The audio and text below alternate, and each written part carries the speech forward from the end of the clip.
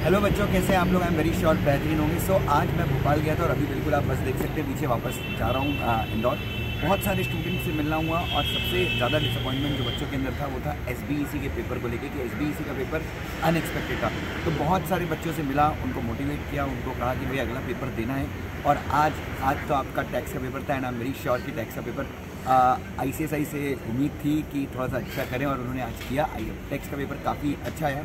और उधर अगर देखा जाए तो सी एम का भी पेपर पहली बार था, पहली बार के हिसाब से अच्छा दिया है। और मेरे हिसाब से अगर सी का पेपर आपने पैंसठ से सत्तर मार्क का भी अटैम्प्ट किया है तो चेकिंग फेयरली होनी चाहिए और काफ़ी अच्छा रहेगा, ठीक है?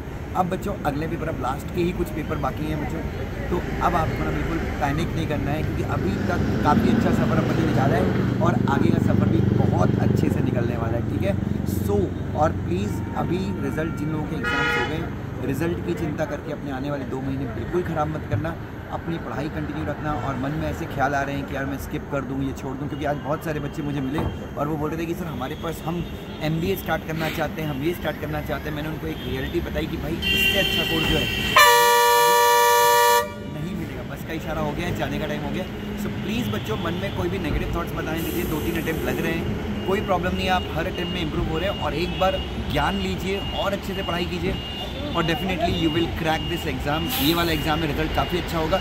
बस कीप गोइंग कीप गोइंग कोई keep going thank you so much God bless you बस इज़